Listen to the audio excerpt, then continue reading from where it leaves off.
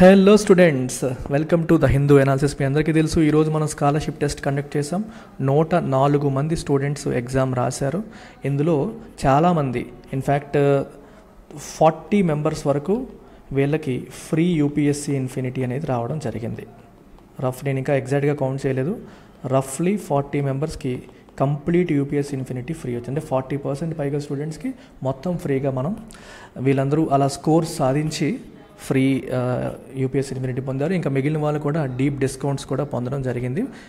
Of course వాళ్ళు perform చేశారు కాబట్టి మనం డిస్కౌంట్స్ అనేవి ఇస్తున్నాం. పర్ఫార్మెన్స్ లేకుండా మనం డిస్కౌంట్స్ అనేవి ప్రొవైడ్ చేయలేము.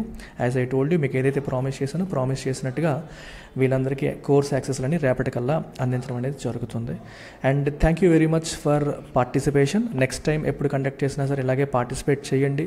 తెలివైన వాళ్ళు చదువుకునే వాళ్ళు కష్టపడే వాళ్ళకి ఎల్టెక్స్ క్లాసెస్ ఎప్పుడూ సపోర్ట్గా ఉంటుంది. మా సపోర్ట్ మీకు ఎప్పుడూ ఉంటుంది.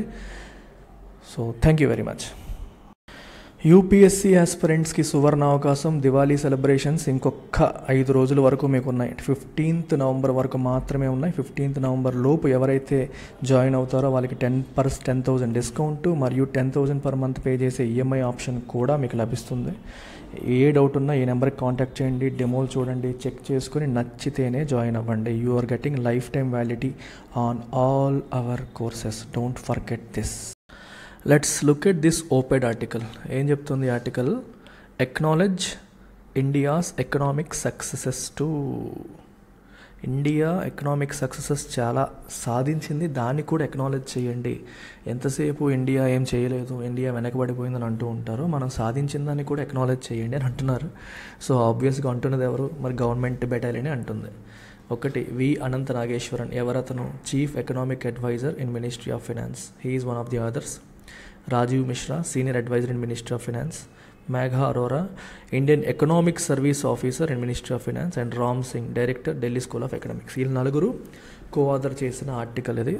సో ఈ ఆర్టికల్ యూపీఎస్సి స్టూడెంట్స్కి GS paper three economic development కిందకు వస్తుంది. ఆ పరంగా మీకు హెల్ప్ అవుతుంది. ఆర్టికల్ వల్ల ఇంకా ఉపయోగాలు ఏంటంటే మెయిన్స్ కోసం ఇండియా ఏం చేసింది ఏమేమి సాధించింది అనడానికి కావాల్సిన నోట్స్ అంతా ఇందులో ఉంది. పొగుడుతూ రాసిన ఆర్టికల్ కాబట్టి అచీవ్మెంట్స్ అన్నీ ఉంటాయి. యూ కెన్ మేక్ నోట్స్ నేను హైలైట్ చేసిన పోర్షన్స్ ఏవైతే నేను చూపిస్తానో వాటిని మీరు నోట్ మేకింగ్ చేసుకోవచ్చు. ఈ పీడిఎఫ్ కూడా ఈ పర్టికులర్ ఆర్టికల్ పీడిఎఫ్ కూడా మన టెలిగ్రామ్ ఛానల్లో మీకు పోస్ట్ చేశాను. టెలిగ్రామ్ ఛానల్ లింక్ ఈ వీడియో కామెంట్ సెక్షన్లో మీకు కనిపిస్తుంది. ఓకే సో స్టార్టింగ్ ఉపోద్ఘాతం ఒకసారి చూసేద్దాం. ఇండియన్ ఎకానమీ కోవిడ్ నైన్టీన్ తర్వాత చాలా మంచిగా గ్రో అయిందని చెప్తున్నారు. ఎఫ్ఐ ట్వంటీ త్రీలో seven point two percent grow అయింది. అండ్ ఆల్ మేజర్ ఎకానమీస్లో ఇది ఫాస్టెస్ట్ అనమాట ఎఫ్ఐ ట్వంటీ ఫోర్ వచ్చేసరికి ఐఎంఎఫ్ ఏం చెప్తుందంటే six point three percent year on year growth ఉండబోతుంది మనకి అని చెప్పి ఇంటర్నేషనల్ మానిటరీ ఫండ్ ప్రొజెక్ట్ చేస్తుంది. Again among all major economies this is the fastest so in fact అసలు మన ఐఎంఎఫ్ వాళ్ళ రిపోర్ట్లోనే క్లియర్గా మెన్షన్ చేశారు ఏమని? ఫాస్టెస్ట్ గ్రోయింగ్ మేజర్ ఎకానమీ అని చెప్పేసి చెప్పడం జరిగింది. మేజర్ ఎకానమీ అనే పదం ఇక్కడ చాలా చాలా ఇంపార్టెంట్ ఎందుకంటే ఒకప్పటి ఇండియా కాదు ఇప్పటి ఇండియా చాలా పెద్దదైంది. కరెంట్లీ ఇండియా ఫిఫ్త్ లార్జెస్ట్ ఎకానమీగా ఉంది. అండ్ రెండు వేల ఇరవై ఏడు కల్లా థర్డ్ లార్జెస్ట్ అవ్వబోతుందని కూడా ఐఎంఎఫ్ వాళ్ళు ప్రొజెక్ట్ చేస్తున్నారు. సో చాలా పెద్దది. ఇప్పుడు చిన్న చిన్న ఎకానమీలు ఫాస్ట్గా గ్రో అవ్వడం ఈజీ ఒక పెద్ద ఎకానమీ ఆల్రెడీ పెద్దగా ఉన్న ఎకానమీ ఎంతెంత సెవెన్ పర్సెంట్ ఎయిట్ పర్సెంట్ చొప్పున గ్రో అవ్వడం అనేది చాలా కష్టమైంది. అలా ఇండియా సాధిస్తుంది అనేది ఆదర్స్ అక్కడ చెప్తున్న point so rest of the things అంత ఇంపార్టెంట్ కాదు బట్ ఇక్కడ నుంచి ఇది మీకు ఇంపార్టెంట్ గవర్నమెంట్ రెండు వేల పద్నాలుగు తర్వాత ఏమేం చేసింది? ఇవన్నీ కూడా ఇంపార్టెంట్ గవర్నమెంట్ చేసిన పనులు ఏంటి? అవి మనకి ఏ రకంగా ఉపయోగపడ్డాయి అనేది ఇక్కడ ఇంపార్టెంట్ చూడండి. The new government implemented a series of measures to lift the economy on to a higher growth path in the medium term new government ఏం చేసింది? ఇంప్లిమెంటెడ్ సిరీస్ ఆఫ్ మెజర్స్ చాలా మెజర్స్ చర్యలు తీసుకుంది. దేనికోసం? టు లిఫ్ట్ ద ఎకానమీ అంటే higher growth path growth పాత్లోకి తీసుకురావడానికి. అంటే రెండు వేల పద్నాలుగు ఇలా గవర్నమెంట్ ఫామ్ అవ్వగానే ఎకానమీని మంచి గ్రోత్ పాత్లో పెట్టడానికి రకరకాల యాక్షన్స్ తీసుకున్నారు. ఏం తీసుకున్నారు? ఆ actions important a calibrated liberalisation of the economy ఎకానమీని liberalise చేశారు. లిబరలైజ్ చేయడం అంటే రెస్ట్రిక్షన్స్ తగ్గించడం. మనం ఎల్పిజి రిఫార్మ్స్ వినుంటారు. నైన్టీన్ నైంటీస్లో లిబరలైజేషన్ ప్రైవేటైజేషన్ గ్లోబలైజేషన్ రిఫార్మ్స్ తీసుకొచ్చారు. అందులో ప్రైవేటైజేషన్ అంటే అర్థం ఏంటి? ప్రభుత్వం తన వాటాలను అమ్మేయడం. ప్రభుత్వ రంగ సంస్థల్లో తన వాటాలని ప్రైవేట్ వ్యక్తులకు అమ్మేయడాన్ని ప్రైవేటైజేషన్ అంటాం. లిబరలైజేషన్ అనే అర్థం ఏంటి? ఇండస్ట్రీ స్టార్ట్ చేయాలన్నా కొత్తగా కెపాసిటీ ఎక్స్పాండ్ చేయాలన్నా చాలా రెస్ట్రిక్షన్స్ ఉండేవి. లైసెన్సులు తీసుకోవాల్సిన పరిస్థితి ఉండేది. చాలా రూల్స్ రెగ్యులేషన్స్ ఉండేవి. వాటిని ప్రభుత్వం మెల్లమెల్లగా రిమూవ్ చేసింది. దాన్ని లిబరలైజేషన్ అంటాం. గ్లోబలైజేషన్ అంటే ప్రపంచవ్యాప్త మిగి మిగిలిన దేశాలతో మన యొక్క ఇంటరాక్షన్స్ పెరగడం. ఎక్స్పోర్ట్లు కానీ ఇంపోర్ట్లు కానీ టారిఫ్లు తగ్గించుకోవడం కానీ ఎఫ్డిఐ కానీ వేరే దేశాలు మన దేశంలో పెట్టుబడి పెట్టే అవకాశం కల్పించడం కానీ మన వాళ్ళు విదేశాలకు వెళ్ళే అవకాశాన్ని కల్పించడం కానీ ఇవన్నీ మనకి గ్లోబలైజేషన్ కిందకు వస్తాయి. కదా. సో ఇప్పుడు ఫర్దర్ లిబరలైజేషన్ అంటే అర్థమైతే ఇంకా ఇంకా రూల్స్ రెగ్యులేషన్స్ తగ్గించింది. బిజినెస్ ఎవరైనా స్టార్ట్ చేయాలంటే ఈజీగా స్టార్ట్ చేసేలా ఈజ్ ఆఫ్ డూయింగ్ బిజినెస్ అంటాం కదా. బిజినెస్ ఈజీగా స్టార్ట్ చేసేలాంటి రకరకాల రూల్స్ని రిలాక్స్ చేయడం ద్వారా బిజినెసెస్ని ఎంకరేజ్ చేయడం ద్వారా మనకి చూడండి ఫారిన్ డైరెక్ట్ ఇన్వెస్ట్మెంట్ కూడా భారతదేశంలో బాగా పెరిగేలాగా చేసింది. ఫారిన్ డైరెక్ట్ ఇన్వెస్ట్మెంట్ అంటే లాంగ్ టర్మ్ మైండ్ సెట్తో ఇండియాలో ఇన్వెస్ట్ చేసే వాళ్ళని తీసుకురావడం అనమాట దాన్ని డైరెక్ట్ ఇన్వెస్ట్మెంట్ అంటాం. ఇన్స్టిట్యూట్ ఎఫ్పిఐ అంటారు. ఎఫ్పిఐ అంటే ఫారిన్ పోర్ట్ఫోలియో ఇన్వెస్ట్మెంట్. అలాగే ఫారిన్ డైరెక్ట్ ఇన్వెస్ట్మెంట్. ఈ రెండింటికి డిఫరెన్స్ మీకు తెలియాలి. ఎఫ్పిఐ వచ్చేసరికి ఇండియన్ స్టాక్స్లో కానీ ఇండియన్ బాండ్స్లో కానీ పెట్టే పెట్టుబడులు ఎఫ్పిఐ కిందకు వస్తాయి.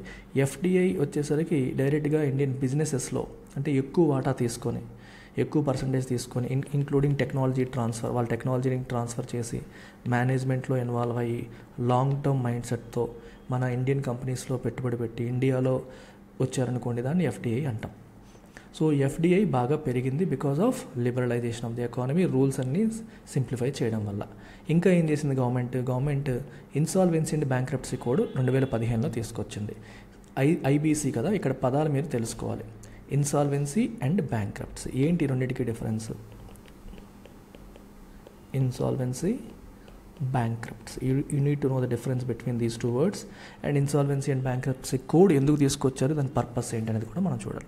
ఇన్సాల్వెన్సీ అంటే అర్థం ఏంటి? Whenever you don't have money to pay salaries ఒక కంపెనీ ఉంది. కంపెనీ ఆ మంత్ శాలరీస్ పే చేయడానికి డబ్బులు లేవనుకోండి. Then you call it insolvent insolvent అంటే నో మనీ ఆ సమయానికి డబ్బు లేకపోవడం. నీ బేసిక్ నీడ్స్కి అవసరమైన డబ్బు లేకపోవడాన్ని ఇన్సాల్వెంట్ అంటాం. ఇన్సాల్వెంట్ అంటే అంటే ఆ క్షణానికి ఖర్చులకి సరిపడా డబ్బు లేకపోవడం ఇన్సాల్వెన్సీ మరి బ్యాంక్రప్సీ అంటే అర్థం ఏంటి? దివాలా తీసేయడం. ఇన్సాల్వెన్సీ అనేది temporary phenomenon it could be temporary phenomenon ఈ టైంకి లేవు నెక్స్ట్ మంత్కి మళ్ళీ మన దగ్గర రావచ్చు. Your insolvent today but you can be solvent next month నీ ప్రాబ్లమ్ సాల్వ్ అవ్వచ్చు. బ్యాంక్రప్సీ అనేది లీగల్ థింగ్ అంటే ఒక కోర్టు మీకు డిక్లేర్ మీ బేసికల్గా బ్యాంక్రప్సీ అనేది మనం అప్లై చేయాలి. నేను దివాలా తీస్తున్నాను అని చెప్పి నువ్వు అప్లై చేస్తే ప్రొసీజర్ అంతా చూసి దివాలా తీస్తున్నట్టు అర్థం ఏంటి ఇంకా మరి నేను కంపెనీ నడిపే స్థితిలో లేను అని అర్థం అనమాట సో దివాలా తీస్తున్నానని చెప్పినప్పుడు అప్పుడు అప్పుడు ఏం చేస్తాయంటే నీ ఆస్తులన్నీ అమ్మేసి నువ్వు ఎవరెవరికి ఎంతెంత ఇవ్వాలో ఆర్డర్ ప్రకారం ఇచ్చేస్తారు. నీ కంట్రోల్లో ఇంకేం ఉండదు. So bankruptcy is something you can't decide you have to apply that I'm filing for bankruptcy నువ్వు అప్లై చేయాలి. అప్లై చేశాక దానికి ప్రొసీజర్ ఉంటుంది. ప్రొసీజర్ అంతా ఫాలో అయ్యాక నీ బ్యాంక్రప్సీకి అప్రూవ్ అయితే అప్పుడు నీ ఆస్తులు అమ్మి ఎవరెవరికి ఎంతెంత ఇవ్వాలో అంతంత ఇస్తారు.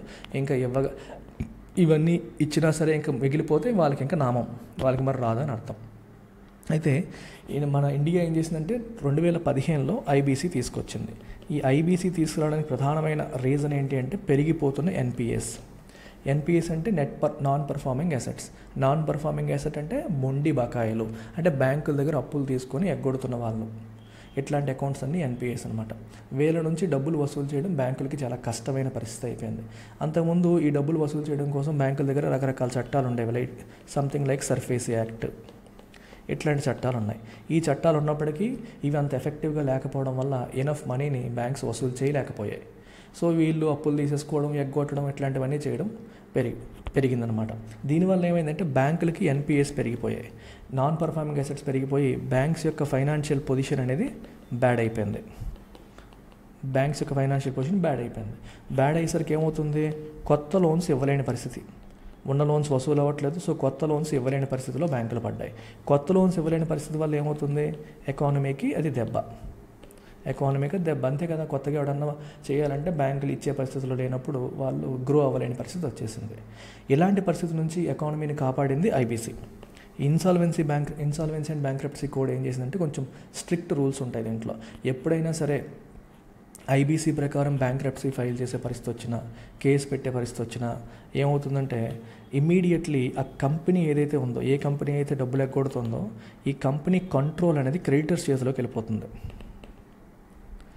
Creditors in control. చాలా చాలా ఇంపార్టెంట్ పాయింట్. మొత్తం ఐబీసీ గురించి నేను ఇప్పుడు చెప్పలేను. మీకు ఇన్సాల్వెన్సీ బ్యాంక్రప్సీ కోడ్ గురించి కంప్లీట్గా తెలియాలి అంటే మీరు మన యూట్యూబ్ ఛానల్లో insolvency and bankruptcy code Suresh sir అని చెప్పి టైప్ చేయండి. లేదా insolvency and bankruptcy code LTX అని చెప్పి టైప్ చేయండి మీకు వస్తుంది. సెర్చ్ బాక్స్లో వస్తుంది. మీకు మొత్తం అంతా నేను డీటెయిల్డ్గా ఆల్రెడీ కవర్ చేసిన వీడియో ఉంటుంది తెలుస్తుంది. బట్ ఫర్ నౌ ఆ పదం వచ్చింది కాబట్టి మీకు టచ్ చేస్తున్నాను. ఐబీసీ యొక్క మోస్ట్ ఇంపార్టెంట్ ఆస్పెక్ట్ ఏంటి అంటే ఇంతకుముందు కంపెనీ పైన ఎవరైనా కేసులు పెట్టినా సరే కంపెనీ కంట్రోల్ అంతా వాళ్ళ చేతిలోనే ఉండేది. దాన్ని డెటర్ ఇన్ పొసెషన్ అంటాం. డెటర్ ఎవడు? అప్పు తీసుకున్నాడు. వాడి చేతిలోనే మొత్తం ఉండేది. అంటే అప్పు తీసుకున్నోడి చేతిలో అంటే కోర్టు కేసు తేలేంత వరకు కూడా కంట్రోల్ అంతా వాళ్ళ చేతిలో ఉండేది. కోర్టు కేసు తేలేలోపు వాడు చక్కదిద్దేసేవాడు మొత్తం. ఆస్తులన్నీ అమ్మేయడం ఇంపార్టెంట్ అన్నీ అమ్మేసి ఒకవేళ దివాలా తీయాల్సి వచ్చినా వాడి దగ్గర ఏమీ లేకుండా చేసేవాడు అనమాట అది ఇంతకు ముందు ఉండేది. ఐబీసీ యొక్క బ్యూటీ ఏంటంటే the moment IBC comes in to picture case అనేది వీళ్ళు ఫైల్ చేసిన పిటిషన్ అనేది యాక్సెప్ట్ అయ్యింది అంటే ఇమీడియట్గా ఈ కంపెనీ యొక్క మేనేజ్మెంట్ కంట్రోల్ మేనేజ్మెంట్ కంట్రోల్ అనేది ఇమీడియట్గా క్రియేటర్స్ చేతిలోకి వెళ్ళిపోతుంది. క్రియేటర్స్ అంటే ఎవరు? అప్పిచ్చిన వాళ్ళు. అంటే బ్యాంకులు. They form something called committee of creators committee of creators అని ఫామ్ చేస్తారు. వాళ్ళ చేతిలో కంట్రోల్ వెళ్ళిపోతుంది ఎప్పుడైతే కంట్రోల్ వీళ్ళ చేతిలోకి వెళ్తుందో వీడు వేషాలు వేయడానికి అవ్వదు. అప్పుడు వీడు ఏం చేస్తాడు? కాలబేరానికి వస్తాడు. సెటిల్మెంట్ చేసుకుందాం అంటాడు. నేను పే చేస్తాను. సెటిల్మెంట్ చేసేసుకుందాము. ఇట్లా వచ్చి ఐబీసీ వల్ల ఈ ఎన్పిఏ కేసులన్నీ కూడా చాలా తొందరగా రిజాల్వ్ అవుతున్నాయి. రిజాల్వ్ అయ్యి ఎన్పిఎస్ అని తగ్గడం మొదలైంది. నాన్ పర్ఫార్మింగ్ అసెట్స్ ఎప్పుడైతే తగ్గాయో బ్యాంక్స్ యొక్క బ్యాలెన్స్ షీట్స్ స్ట్రెంగ్తన్ అయ్యాయి. సరే వాళ్ళ యొక్క ఈ మొండి బకాయిలు తగ్గడం బ్యాంకులు స్ట్రెంగ్తన్ అవ్వడం తర్వాత అవి ఇంకా ఇంకా లోన్స్ ఇచ్చి ఎకనామిక్ గ్రోత్కి హెల్ప్ అయ్యాయి అనమాట ఇది టూకీగా దాని meaning and this has successfully address delinquency delinquency అంటే ఇది ఎగ్గొట్టడమే. ఎగ్గొట్టడం డెలింక్వెన్సీ అంటాము. And lowered non performing assets in the banking sector non performing అసెట్స్ని కూడా అవి తగ్గించడం అనేది జరిగింది. అర్థమైందమ్మా? నాన్ పర్ఫార్మింగ్ అసెట్స్ తగ్గించే పరిస్థితిగా దారితీసింది. డెలింక్వెన్సీ అంటే మీనింగ్ అంటే ఒక బాధ్యతని ఎగ్గొట్టడం అనే మీనింగ్ అనమాట నువ్వు కట్టాలి కట్టట్లేదు. మైనర్ క్రైమ్స్ బాధ్యతను ఎగ్గొట్టడం కట్టాల్సిన కట్టకపోవడం ఇట్లాంటివి. ఫినాన్స్లో ఎస్పెషల్లీ లేట్గా పే చేయడం ఓవర్ డ్యూ అయిపోవడం దీన్ని డెలింక్వెన్సీ అంటాం. సో దీనివల్ల setting the stage for private corporate investment to take off private corporate investment అంటే అర్థం ఏంటి? కార్పొరేట్ కంపెనీస్ ఇన్వెస్ట్మెంట్ అంటే కొత్త బిజినెసెస్ పెట్టడం ఎక్స్పాన్షన్ చేయడం. ఇవన్నీ చేయాలంటే లోన్స్ కావాలి. లోన్స్ కావాలంటే బ్యాంకులు స్ట్రాంగ్గా ఉండాలి. బ్యాంకులు స్ట్రాంగ్గా ఉండాలంటే వాళ్ళు మొండి బకాయిలు తగ్గాలి. ఐబీసీ వాళ్ళ మొండి బకాయిలు తగ్గాయి. బ్యాంకులు స్ట్రెంత్ అయ్యాయి. కార్పొరేట్స్కి కొత్త కార్పొరేట్స్కి లోన్స్ ఇవ్వడం మొదలైంది. సో కార్పొరేట్ ఇన్వెస్ట్మెంట్ అనేది టేక్ ఆఫ్ అయింది. అలాగే రెండు వేల ఇరవై పదహారులో వచ్చిన రెండు వేల పదహారులో వచ్చిన డిమానిటైజేషన్ డ్రైవ్ వల్ల కూడా మనకి బ్లాక్ మనీ కొంత తగ్గి ట్యాక్స్ కంప్లైన్స్ అనేది పెరిగింది అని చెప్తున్నారు. యాక్చువల్గా తగ్గలేదు మరి ఇలా చెప్పుకుంటున్నారు. నెక్స్ట్ చూడండి. Besides the GST rolled out in two thousand seventeen has mobilised higher revenues and unified fragmented markets to build economic synergies GST రావడం వల్ల మనకి ఏమైందంటే హయ్యర్ రెవెన్యూస్ గవర్నమెంట్కి రావడం మొదలైంది. అండ్ ఫ్రాగ్మెంటెడ్ మార్కెట్స్ అన్ని యూనిఫై అయ్యాయి. దేశంలో మార్కెట్స్ అన్ని మొక్కలు మొక్కలుగా ఉండేవి. One nation one tax GST ఇప్పుడు ఒక ఐటెం బట్టే ట్యాక్స్ ఉంటుంది. అందుకు ఒక ఒకే ఐటెం పైన ఏపీలో ఒక ట్యాక్స్ తెలంగాణలో ఒక ట్యాక్స్ ఉండే పరిస్థితి ఉండేది. అంటే ఒక రాష్ట్రానికి ఒక ట్యాక్స్ ఇప్పుడు లిక్కర్ తీసుకోండి. ఏపీలో ఒక రేటు ఉంటుంది తెలంగాణలో ఒక రేటు కర్ణాటకలో ఒక రేటు లిక్కర్ అనేది జిఎస్టీ కిందకి రాలేదు. పెట్రోల్ జిఎస్టీ కిందకి రాలేదు. సో పెట్రోల్ రేట్లు కూడా వేరీ అవుతున్నాయి. ఇంతకుముందు అన్ని రేట్లు అలాగే వేరీ అయ్యేవి. స్టేట్ ట్యాక్స్ వేరు ఒక్కొక్క స్టేట్కి వేరు వేరుగా ఉండేది కాబట్టి అన్ని వస్తువులపైన రేట్లు వేరు ఇప్పుడు ఏమైంది? వస్తువుపైన రేట్ ఎక్కడికైనా ఒకటే. ఎందుకంటే జిఎస్టీ కింద ఉంటే చాలు దాని రేట్ ఒకేలా ఉంటుంది. అర్థమవుతుందా? So one nation one tax one market అలా మొత్తం మార్చింది. దీనివల్ల ఒక ప్రొడ్యూస్ ఒక వస్తువు ప్రొడ్యూస్ చేసేవాడు ఆ వస్తువు ఏ రేటుకి అమ్మాలనే విషయంలో క్లారిటీ వస్తుంది. రాష్ట్రమంతా దేశమంతా ఒకటే రేటుకి అమ్మే అవకాశం అనేది లభిస్తుంది దానివల్ల. సర్టనిటీ వస్తుంది. ఇంత రెవెన్యూ వస్తుంది నేను ఇంత ప్రైస్కి అమ్మొచ్చు ఇన్ని వస్తువులు అమ్మొచ్చు ఇంత క్వాంటిటీ అమ్మొచ్చు. This is what I could get అని అతనికి ఒక క్లారిటీ వచ్చే పరిస్థితి మనకి కనిపిస్తుంది. The reduction in the corporate tax rate in 2019 to one of the lowest in the world has increased corporate reserves, which are being leveraged to finance higher investments. రెండు వేల పంతొమ్మిదిలో ఇంకా గవర్నమెంట్ ఏం చేసింది? కార్పొరేట్ ట్యాక్స్ తగ్గించింది. Corporate tax తగ్గించడం వల్ల ఏమైంది? ఈ కార్పొరేట్ కంపెనీస్కి గవర్నమెంట్కి కట్టే ట్యాక్సులు తగ్గాయి. దానివల్ల వాళ్ళ రిజర్వ్స్ అనేవి పెరిగాయి. రిజర్వ్స్ పెరిగితే వాళ్ళు ఏం చేస్తారు? దాన్ని ఉపయోగించి వాళ్ళు ఇన్వెస్ట్మెంట్స్ చేస్తారు. ఎప్పుడైతే వాళ్ళకి ఎక్స్ట్రా రిజర్వ్స్ వచ్చాయో వాళ్ళు ఇంకా హయ్యర్ ఇన్వెస్ట్మెంట్ చేయడానికి అవసరమైన ఫినాన్స్ వాళ్ళకి వచ్చింది. సో హయ్యర్ ఇన్వెస్ట్మెంట్ వల్ల ఎంప్లాయ్మెంట్ క్రియేట్ అవుతుంది జీడిపి గ్రో అవుతుంది. ఈ రిఫార్మ్స్ అన్నింటి వల్ల మనకి ఏమైందంటే have led to a strong churning of the economy shutting out enterprises the deviated from market principle churn out అంటే అర్థం ఏంటంటే గిర్రుని తిరగడం. అంటే మీకు ఇప్పుడు మజ్జిగ చూడండి చిలుకుతాం చూడండి ఇలా అంటాం. అప్పుడు ఏమవుతుంది కొన్ని బయటికి ఎడ్జిల్లోకి వెళ్ళిపోతాయి కదా అలాగా. ఇప్పుడు ఒక బిజినెస్లో చర్నింగ్ అవుట్ అంటే అర్థం కొంతమంది కస్టమర్స్ వెళ్ళిపోవడం మంచి వాళ్ళే ఉండడం. నువ్వు కొత్త రూల్స్ తీసుకొచ్చావు. కొత్త రూల్స్ తీసుకురావడం వల్ల రూల్స్ ఫాలో అవ్వని బ్యాచ్ అందరూ వెళ్ళిపోయారు. రూల్స్ ఫాలో అయ్యే వాళ్ళే మన దగ్గర ఉన్నారు. చర్న్ అవుట్ అయింది అంటాం. సో ఇక్కడ ఈ కాంటెక్స్ట్లో ఏంటి మీనింగ్ అంటే ఈ కొత్త ఈ ప్రిన్సిపల్స్ అన్నీ తీసుకురావడం వల్ల మార్కెట్ ప్రిన్సిపల్స్ అన్నీ ఫాలో అయ్యే బిజినెసెస్ అన్నీ ఉన్నాయి. అవి గ్రో అయ్యాయి. ఈ మార్కెట్ ప్రిన్సిపల్స్ ఫాలో అవ్వని బిజినెస్లు ఏవైతే ఉన్నాయో అవన్నీ వెళ్ళిపోయాయి. షట్ డౌన్ అయిపోయాయి. అని చెప్తున్నారు. అంటే మంచి కంపెనీస్ ఉన్నాయి చెడ్డ వెళ్ళిపోయాయి అని చెప్తున్నారు. అలాగే ఎఫ్ఐ ట్వంటీ టూలోకి వచ్చేస్తే ఇక్కడ ఏం జరిగింది? ఎఫ్ఐ ట్వంటీ టూలో మనకి ఏమేమి వచ్చాయి? ద గవర్నమెంట్ ఎంబాక్డ్ అనే large capex programme very very important capital expenditure programme start చేసింది. FY twenty two is very significant ఎందుకంటే ఎఫ్ఐ ట్వంటీ వన్ అంటే రెండు వేల ఇరవై ఇరవై ఒకటి ఆర్థిక సంవత్సరం బాగా చితికిపోయాం మనం. ఇరవై ఇరవై ఒకటి ఆర్థిక సంవత్సరం ఏమైంది? కోవిడ్. కోవిడ్ అంటే కోవిడ్ వల్ల కంప్లీట్గా చితికిపోయి మెజారిటీ ఆఫ్ ద ఇయర్ ఈ లాక్డౌన్లో గడిపేస్తాం నో ఎక్స్పెండిచర్ నథింగ్. అందుకని ఎఫ్ఐ ట్వంటీ టూ అంటే ట్వంటీ వన్ ట్వంటీ టూ ఆర్థిక సంవత్సరానికి ప్రభుత్వం ఏం చేసిందంటే భయంకరంగా క్యాపిటల్ ఎక్స్పెండిచర్ మొదలుపెట్టింది. క్యాపిటల్ ఎక్స్పెండిచర్ అంటే అర్థం ఏంటి? ఎకానమీ యొక్క ప్రొడక్టివ్ కెపాసిటీని ఇంప్రూవ్ చేసే ఎక్స్పెండిచర్ని క్యాపిటల్ ఎక్స్పెండిచర్ అంటాం. అంటే రోడ్లు వేయడం బిల్డింగ్లు కట్టడం మనకి ఇన్ఫ్రాస్ట్రక్చర్ బిల్డ్ చేయడము పవర్ లైన్స్ డ్యామ్స్ ఇవన్నీ కూడా క్యాపెక్స్ కిందకు వస్తాయన్నమాట. అర్థమవుతుందా? సో దీనికోసం గవర్నమెంట్ ప్రోగ్రామ్ మొదలుపెట్టింది. And provided resource support to state government. State governments కూడా ఎనఫ్ రిసోర్సెస్ ఇచ్చింది to increase their capex budget మీరు కూడా పెంచండి. మేమే కాదు మీరు చేయండి. మీరు కూడా స్పెండ్ చేయండి అని వాళ్ళకి కూడా రిసోర్సెస్ ఇచ్చింది. సో ఎఫ్ఐ నైన్టీన్లో one point six percent of GDP ఉండేది క్యాపెక్స్ అది ఎఫ్ఐ ట్వంటీ త్రీకి టూ పాయింట్ సెవెన్ పర్సెంట్ పెరిగింది. ఎఫ్ఐ ట్వంటీ ఫోర్కి త్రీ పాయింట్ త్రీ పర్సెంట్ కూడా పెంచి బడ్జెట్ పెంచారు. ఇదంతా all this while containing the physical deficit to its budgeted ratio to GDP ఇప్పుడు క్యాపిటల్ ఎక్స్పెండిచర్ ఎంత పెంచేస్తున్నారు కాబట్టి ఫిజికల్ డెఫిసిట్ పెరిగిపోతుంది అనుకో అనుకోకండి. ఫిజికల్ డెఫిసిట్ని కంట్రోల్ చేస్తూనే దీనికి అంటే అనవసరమైన ఖర్చులు తగ్గించి అవసరమైన ఖర్చులు ప్రభుత్వం పెంచింది అని చెప్తున్నారనమాట ఎప్పుడైనా సరే క్యాపిటల్ ఎక్స్పెండిచర్ రెవెన్యూ ఎక్స్పెండిచర్ తీసుకున్నప్పుడు క్యాపిటల్ క్యాపిటల్ ఎక్స్పెండిచర్ మంచిది. అంటే క్యాపిటల్ ఎక్స్పెండిచర్ వల్ల ఏమవుతుంది? ఎకానమీ యొక్క ప్రొడక్టివ్ కెపాసిటీ పెరుగుతుంది. మరి రెవెన్యూ ఎక్స్పెండిచర్ రెవెన్యూ ఎక్స్పెండిచర్లు ఏముంటాయి? శాలరీస్ ఇలాంటి ఖర్చులన్నీ ఉంటాయి. రెవెన్యూ ఎక్స్పెండిచర్ కన్నా క్యాపిటల్ ఎక్స్పెండిచర్ ఎకానమీ యొక్క ప్రొడక్టివిటీని పెంచేది. సో అందుకని క్యాప్ ఎక్స్పెన్షన్ ఎప్పుడు మంచిది అన్నమాట మంచిది. సో అలా పెంచుతూ వెళ్ళాము. ఫిజికల్ డెఫిసిట్ ఏమీ పెరిగిపోలేదు.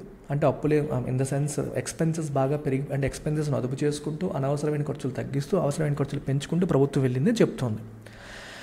ఇంకా అసలు ఈ క్యాపెక్స్ని పెంచడం యొక్క ఉద్దేశం ఏంటి ప్రభుత్వం ఎందుకు ఇది పెంచింది అంటే was to was to not only plug gaps in physical infra physical ఇన్ఫ్రాలో గ్యాప్స్ని ప్లగ్ చేయడమే కాదు but also to crowd in private corporate investment very important point ఎందుకు ప్రభుత్వం క్యాపిటల్ ఎక్స్పెండిచర్ పెంచింది అంటే మన దేశంలో ఉన్న ఇన్ మనకి ఎక్స్పెండి ఇన్ఫ్రాస్ట్రక్చర్ ఏదైతే ఉందో దాంట్లో గ్యాప్స్ ఉన్నాయి. రోడ్లు సరిగ్గా కొన్ని చోట్ల లేకపోవడం బిల్డింగ్లు లేకపోవడం కనెక్టివిటీ లేకపోవడం ఇవన్నీ ఉన్నాయి. పోర్ట్స్ లేకపోవడం ఎయిర్పోర్ట్స్ లేకపోవడం. దాన్ని బిల్డ్ చేయడం అనేది ఒకటి. రెండోది ప్రైవేట్ కార్పొరేట్ ఇన్వెస్ట్మెంట్ని క్రౌడింగ్ చేయడం కూడా ఉద్దేశం అని చెప్తున్నారు. దీని అర్థం ఏంటి? ఇప్పుడు చూడండి. ఈరోజు గవర్నమెంట్ ఉంది. సో గవర్నమెంట్ విపరీతంగా డబ్బులు ఖర్చు పెడుతోంది. విపరీతంగా డబ్బులు ఖర్చు పెడుతోంది. క్యాపిటల్ ఎక్స్పెండిచర్ ద్వారా. దీనివల్ల ఏమవుతుంది? స్ట్రాంగ్ ఎంప్లాయ్మెంట్ జనరేట్ అవుతుంది. అంతేకాదు ఎక్కువ మందికి ఉద్యోగాలు వస్తాయి. ఎంప్లాయ్మెంట్ జనరేట్ అయినప్పుడు ఏమవుతుంది? చాలామందికి శాలరీస్ వస్తాయి. When they get salaries they will have money when they have money they will spend when they are spending ఎలా స్పెండ్ చేస్తారు? Towards goods and services they buy goods and services ఈ goods and services యొక్క sales పెరుగుతాయి. Sales పెరిగితే ఆబ్వియస్గా వాటి యొక్క production పెరుగుతుంది. ప్రొడక్షన్ పెరిగిందంటే మరి వీటిని ప్రొడ్యూస్ చేస్తున్న కంపెనీస్ కార్పొరేట్స్ ఏవైతే ఉంటాయో వాళ్ళు ఏం చేస్తారు? They will try to expand expand చేయడానికి ట్రై చేస్తారు. మరి ఎక్స్పాన్షన్ ఎట్లా జరుగుతుంది? ఎక్స్పాండ్ చేయాలంటే దే హ్యావ్ టు ఇన్వెస్ట్ ఈ రకంగా కార్పొరేట్ ఇన్వెస్ట్మెంట్ అనేది పెరుగుతుంది. When the government is spending a lot of money on capital expenditure plus government పెడుతున్న ఈ క్యాపిటల్ ఎక్స్పెండిచర్ వల్ల ఏమొస్తాయి? రోడ్లు బిల్డింగ్లు పోర్ట్లు బ్రిడ్జ్లు పవర్ లైన్స్ వీటన్నిటి వల్ల ఏంటి? ఇన్ఫ్రా బిల్డ్ అవుతుంది. ఇన్ఫ్రా బిల్డ్ అయితే బిజినెసెస్కి హెల్ప్ అవుతుంది. ఒక బిజినెస్ ఒకడు ఒక చోట బిజినెస్ పెట్టాలంటే వాడు ఏం కోరుకుంటాడు? వాడు ఇన్ఫ్రాస్ట్రక్చర్ కోరుకుంటాడు. అక్కడ సరైన ఇన్ఫ్రాస్ట్రక్చర్ ఉంటేనే బిజినెస్ పెట్టగలడు. వాడికి ట్వంటీ ఫోర్ అవర్స్ పవర్ కావాలి వాటర్ కనే వాటర్ ఉండాలి. కనెక్టివిటీ ఉండాలి. ఇవన్నీ ఉంటేనే వాడు ఏం చేయాలన్నా చేయగలుగుతాడు లేకపోతే చేయలేని పరిస్థితి అనమాట సో ఆ రకంగా ప్రభుత్వం తీసుకొస్తున్న ఈ క్యాపిటల్ ఎక్స్పెండిచర్ వల్ల ప్రైవేట్ క్యాప్ కార్పొరేట్ ఇన్వెస్ట్మెంట్ కూడా క్రౌడింగ్ అయ్యే పరిస్థితి కూడా వచ్చింది అని చెప్తున్నారు. అర్థమవుతుంది? Which was investment ready having repaired its balance sheet and progress to an optimal level of capacity utilisation అది కూడా ఇన్వెస్ట్మెంట్కి సిద్ధంగా ఉంది. అండ్ తన బ్యాలెన్స్ షీట్ రిపేర్ అయ్యింది. ఆప్టిమల్ లెవెల్కి ప్రోగ్రెస్ అయ్యింది. ఆప్టిమల్ లెవెల్ ఆఫ్ కెపాసిటీ యూటిలైజేషన్కి రీచ్ అయింది. కెపాసిటీ యూటిలైజేషన్ అంటే అర్థం ఏంటమ్మా? వాట్ ఈస్ కెపాసిటీ ఒక కార్ కంపెనీ ఉంది. వాడు ఈ can say I can produce three hundred cars per month అన్నాడు అనుకోండి. అది వాళ్ళ కెపాసిటీ అంటే వాళ్ళ full employment full member of ఎంప్లాయీస్తో full time work చేస్తే మూడు వందల కార్లు తయారు చేయగలుగుతారు. But if they are producing only one fifty cars వాళ్ళ కెపాసిటీ యూటిలైజేషన్ అంతా ఫిఫ్టీ పర్సెంట్ అంటే మూడు వందల కార్లు ప్రొడ్యూస్ చేసే కెపాసిటీ ఉన్నవాడు నూట యాభై చేస్తున్నాడు. అంటే డిమాండ్ అంత లేదు. డిమాండ్ ఎనఫ్ లేకపోవడం వల్ల ఫిఫ్టీ పర్సెంటే చేస్తున్నాడని అర్థం. సో ఈ కెపాసిటీ యూటిలైజేషన్ అనేది ఎంత ఉండాలి? సెవెంటీ ఎయిటీ నైంటీ అలా ఉండాలి. అలా ఉంటే బాగున్నట్టు. So optimal level of capacity యూటిలైజేషన్కి వచ్చి బ్యాలెన్స్ షీట్స్ రిపేర్ అయ్యి అంటే అప్పులు తగ్గి ఫినాన్షియల్గా స్ట్రాంగ్గా ఉండి ఎవరైతే రెడీగా ఉన్నారో వాళ్ళందరూ కూడా ఎప్పుడైతే ఇప్పుడు sales పెరుగుతున్నాయో capacity utilisation already eighty ninety ఉంది కాబట్టి దే విల్ ఎక్స్పాండ్ అనమాట ఇంకా పెంచడానికి ట్రై చేస్తారు. అంటే ఇంక కెపాసిటీ ఎన్హాన్స్ చేయడానికి ట్రై చేస్తారు. ఇప్పుడు మూడు వందల కార్లు ప్రొడ్యూస్ చేయగలిగేవాడు నూట యాభై కూడా చేయట్లేదంటే వాడు ఇంకా ఫర్దర్ కెపాసిటీ పెంచడానికి ట్రై చేస్తాడా? చేయడు. అదే మూడు వందల కార్లు ప్రొడ్యూస్ చేయడానికి రెండు వందల యాభై కార్లు డిమాండ్ ఉందనుకోండి అప్పుడు ఎన్హాన్స్ చేస్తాను ఇప్పుడు టూ ఫిఫ్టీ అయితే నేను సప్లై చేయగలుగుతున్నాను. ఒకవేళ డిమాండ్ అనేది ఇంకా పెరిగితే నేను చేయలేనేమో అని భయపడిపోయి అప్పుడు కెపాసిటీని ఎన్హాన్స్ చేయడానికి ట్రై చేస్తాడనమాట. అలాగే మీరు యాక్సిస్ బ్యాంక్ వాళ్ళ డేటా మీరు చూస్తే private corporate investment rose by twenty two point four percent private corporate investment అంటే అర్థం ఏంటమ్మా? కొత్త బిజినెస్ పెట్టడం లేదా ఉన్న బిజినెసెస్ ఎక్స్పాండ్ చేయడం. అది twenty two point four percent పెరిగింది. With fifteen out of nineteen sectors witnessing and expansion in private capital investment nineteen సెక్టార్స్లో fifteen సెక్టార్స్లో ప్రైవేట్ క్యాపిటల్ ఇన్వెస్ట్మెంట్ ఎక్స్పాండ్ అయ్యింది. Along with accelerating economic growth, the government has been focusing on inclusive growth. Economic గ్రోత్తో పాటు government inclusive growth పైన కూడా focus చేస్తుంది. Inclusive growth అంటే అర్థం ఏంటి? Economic growth అంటే ఓవరాల్గా జీడిపి పెరిగితే ఎకనామిక్ గ్రోత్ ఇంక్లూజివ్ గ్రోత్ అంటే అన్ని వర్గాలు అన్ని రంగాలు అన్ని ప్రాంతాలు. గ్రోత్ యొక్క ఫలితాలు అందరికీ అందినప్పుడు అది ఇంక్లూజివ్ గ్రోత్ అవుతుంది. As reflected in its commitment సబ్కా సాత్ సబ్కా వికాస్ అందరితో పాటు అందరి వికాసం అంటే గ్రోత్ అని అర్థం. సో దానికోసం గవర్నమెంట్ చాలా స్టెప్స్ తీసుకుంది. ఎస్పెషల్లీ పవర్టీ నుంచి బయటికి తీసుకురావడానికి చాలా ప్రయత్నాలు చేసింది.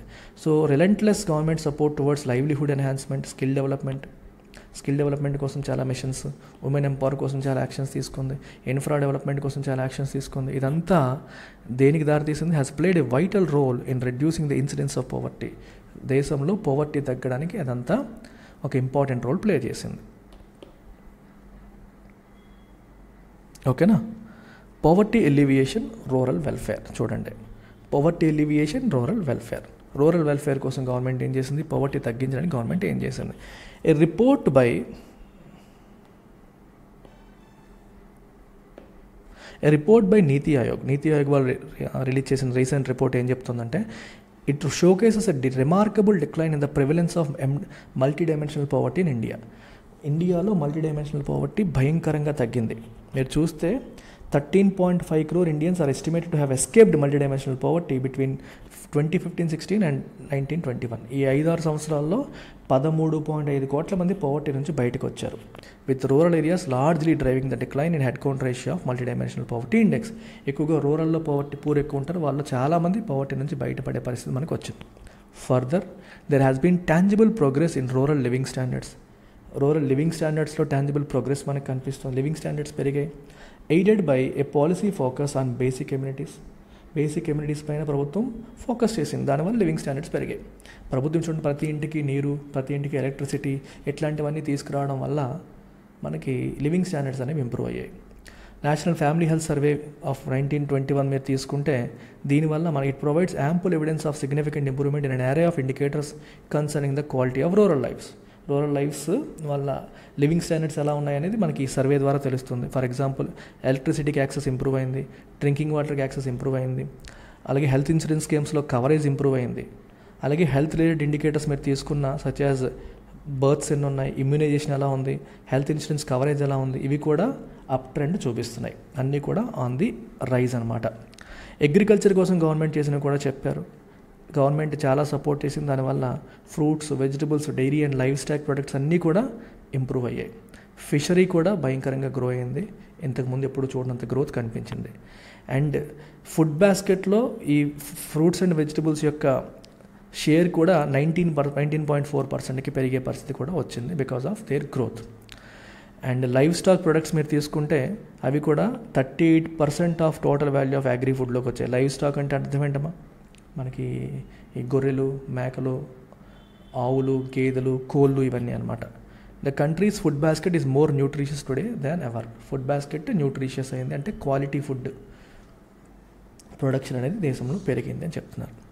As a country with large population and a per capita GDP of nearly two thousand four hundred dollars India is aware of the long road ahead to achieve high income status and a high quality of life for a majority of it citizens so huge population ఉన్న country పెద్ద ఎక్కువ GDP ఉన్న per capital GDP అంటే GDP by population ఇస్తే వచ్చేది per capital GDP so ఇండియాకి తెలుసు మనం ఇంకా హై ఇన్కమ్ స్టేటస్ సాధించాలంటే ఇంకా చాలా చేయాలని తెలుసు. బట్ ఇప్పటి వరకు మనం ఏదైతే చేసామో ఇప్పటివరకు ఏదైతే చేసామో ఈ సక్సెస్ అనేది దానికి proof vindication of the success అంటే అర్థమైంది విండికేషన్ అంటే it's a proof that we have done so many things మన డెవలప్మెంట్ రికార్డుకి ఇదొక విండికేషన్ ఇదొక ప్రూఫ్ అని చెప్పి మనం చెప్పొచ్చు. ఓకేనా ప్రజల యొక్క యాస్పిరేషన్స్ రైజ్ అవుతున్నాయి. దాన్ని ప్రభుత్వం మ్యాచ్ చేస్తోంది. ప్రభుత్వం చేయగలుగుతోంది. Now if experts realise that it is okay to acknowledge successes as it is to draw attention to shortcomings the quality of public disc discourse will catch up with India's economic progress so article యొక్క ఉద్దేశం ఏంటి అంటే మేము ఇన్ని సాధించాం కదా ఈ economic experts అని చెప్పబడుతున్న వాళ్ళు ఎవరు కూడా ఇండియా ఇండియన్ ఎకానమీలో మైనస్లు షార్ట్ కమింగ్స్ని ఎక్కువగా ఫోకస్ చేస్తున్నారు. పబ్లిక్లో మాట్లాడేటప్పుడు ఎప్పుడు నెగిటివ్సే మాట్లాడుతున్నారు. మనం సాధించిన ప్రగతిని ఎందుకు ఎక్నాలజ్ చేయట్లేదు? ఎక్నాలజ్ చేస్తే బాగుంటుంది కదా. ప్రజలకి సరైన ఇన్ఫర్మేషన్ వెళ్తుంది కదా? ఏం మిస్ అయ్యాం? ఎక్కడ మిస్ అయ్యాం అనేది చెప్తూ ఉండడం కంటే సాధించిన దాన్ని కూడా ఎక్నాలెడ్జ్ చేస్తే అప్పుడు పబ్లిక్కి సరైన ఇన్ఫర్మేషన్ వెళ్తుంది అని ఆర్టికల్ యొక్క ప్రధానమైన సారాంశం. సో మీరు యూపీఎస్సీ పాయింట్ ఆఫ్ వ్యూ ఇక్కడ కనిపిస్తున్న పాయింట్స్ మీరు నోట్ చేసుకుని మెయిన్స్లో ఉపయోగించడానికి అవకాశం ఉంటుంది. Whatever the government has done over last one year so ఈ ఆర్టికల్ చూడండమ్మా ఇది కూడా editorial chip of the block అని చెప్పి టైటిల్తో మనకు వచ్చింది ఇది నేను మీకు వైట్ బోర్డ్ పైన ఎక్స్ప్లెయిన్ చేస్తాను. ఇది కొంచెం కాంప్లికేటెడ్గా ఉంటుంది so you need to understand this I will slowly take you through everything స్లోగా చెప్తాను జాగ్రత్తగా వినండి. So this is about semiconductor manufacturing in India semiconductor manufacturing in India. దానికి సంబంధించిన ఆర్టికల్ ఇది so general studies paper three కిందకి మీకు వస్తుంది. రైట్? అయితే దీంట్లో భాగంగా గవర్నమెంట్ ఆల్సో ఈ article also discusses PLI production linked incentive scheme గురించి కూడా డిస్కస్ చేస్తుంది. And production linked incentive scheme ఏంటి అంటే ఏంటి? దాని ద్వారా గవర్నమెంట్ అనుకున్న ఆబ్జెక్టివ్స్ ఏంటి? ఏ ఏ ఆబ్జెక్టివ్స్ పెట్టుకుంది? And what are the outcomes అనుకున్న ఆబ్జెక్టివ్స్ అచీవ్ చేయగలిగిందా? అవుట్కమ్స్ అనుకున్నట్టుగా వచ్చాయా? లేదా అనేది another aspect that we need to discuss ఏం తప్పులు చేస్తుంది? ఏం కరెక్షన్స్ చేయాలి అనేది కూడా ఇందులో డిస్కస్ చేశారు. So first let start with what is a semiconductor అసలు సెమీ కండక్టర్ అంటే ఏంటో తెలియకపోతే మనం ఏం చేయలేం కదా? Let's start with what is a semiconductor పేరులోనే ఉంది. సెమీ కండక్టర్ ఇప్పుడు మామూలుగా ఎలక్ట్రిసిటీ కండక్షన్ గురించి మనం మాట్లాడుకుంటున్నాం. So it is something in between an insulator and a conductor a pure కండక్టర్కి and ఎలక్ట్రిసిటీని కంప్లీట్గా పాస్ చెయ్యని దాన్ని ఇన్సులేటర్ అంటాము. ఎలక్ట్రిసిటీని కంప్లీట్గా హండ్రెడ్ పర్సెంట్ పా అంటే ఎటువంటి రెసిస్టెన్స్ లేకుండా పాస్ చేస్తే దాన్ని ప్యూర్ కండక్టర్ అంటాం. And semiconductor is somewhere in the middle complete insulator కాదు కంప్లీట్ కండక్టర్ కూడా కాదు. రెండింటికి మధ్యలో ఉంటుందన్నమాట. సో ఈ పర్టిక్యులర్ సెమీ కండక్టర్ ఏదైతే ఉందో ఇది ఫీల్డ్ ఆఫ్ ఎలక్ట్రానిక్స్. ఎలక్ట్రానిక్స్ ఫీల్డ్లో చాలా చాలా ఇంపార్టెంట్ రోల్ ప్లే చేస్తుంది. ఎలక్ట్రానిక్స్ ఫీల్డ్లో చాలా ఇంపార్టెంట్ రోల్ ప్లే చేస్తుంది. ఎందుకని? దీన్ని మనం మ్యానిపులేట్ చేయొచ్చు. It can control it can control the flow of electric current. The flow of electric current. దాన్ని కంట్రోల్ చేయగలుగుతుంది కాబట్టి. ఇదంటే ప్యూర్ కండక్టర్ మొత్తం పాస్ అయిపోతుంది. ఇది పూర్తిగా పాస్ చేయదు ఇది మధ్యలో ఉంటుంది. సో మనం మ్యానిపులేట్ చేయొచ్చు. ఫ్లో ఆఫ్ ఎలక్ట్రిక్ కరెంట్ని ఇది కంట్రోల్ చేయడం అనేది అవుతుంది. సో జనరల్గా ఈ సెమీ కండక్టర్స్ అనేవి దేని ద్వారా తయారవుతాయి అంటే మనకి ప్రిడామినెంట్గా మీ అందరికీ తెలుసు సిలికాన్ లేదా జర్మేనియం వీటి నుంచి సెమీ కండక్టర్స్ అనేవి తయారు చేస్తారు. సో వీటికి ఆ ప్రాపర్టీస్ అనేవి ఉన్నాయన్నమాట. ఏ ప్రాపర్టీస్? సెమీ కండక్టింగ్ ప్రాపర్టీస్ ఆ ప్రాపర్టీస్తో వాటిలో ఉన్న ఎలక్ట్రిక్ కరెంట్ పాసేజ్ని మనం మ్యానిపులేట్ చేసే అవకాశం అనేది లభిస్తుంది.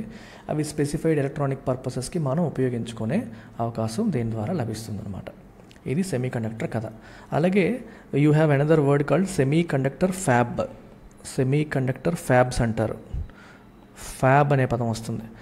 Semiconductor fab is nothing but fabrication facility fab అంటే ఫ్యాబ్రికేషన్ ఫెసిలిటీ అంటే మ్యానుఫ్యాక్చరింగ్ అని అర్థం.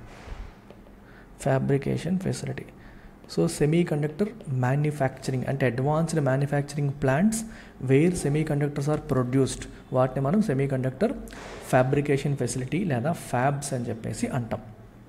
ఓకే ఇప్పుడు ఈ సెమీ కండక్టర్స్ అనేవి ఈరోజు ప్రతి ఒక్క దాంట్లో ఇండియా ఉపయోగిస్తున్న ప్రతి ఒక్క దాంట్లో ప్రపంచంలో అందరూ ఉపయోగిస్తున్న అన్నింట్లో కూడా వీటిని ఉపయోగిస్తారు. ఇంటర్నెట్ ఆఫ్ థింగ్స్ తీసుకోండి ఎలక్ట్రానిక్స్ తీసుకోండి కంప్యూటర్స్ తీసుకోండి మొబైల్స్ తీసుకోండి.